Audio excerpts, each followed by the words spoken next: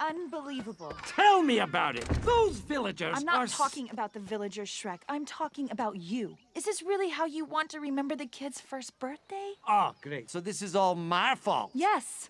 But, you know what? Let's talk about this after the party, at home. You mean that roadside attraction we live in? Step right up. See the dancing ogre. Don't worry, he won't bite.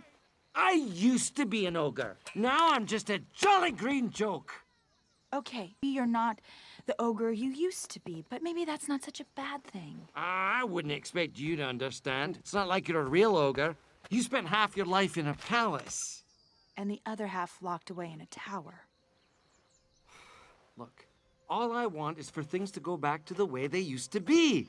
Back when villagers were afraid of me, and I could take a mud bath in peace. When I could do what I wanted, when I wanted to do it. Back when the world made sense. For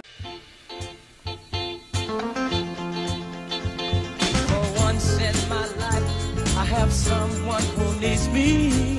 Someone I've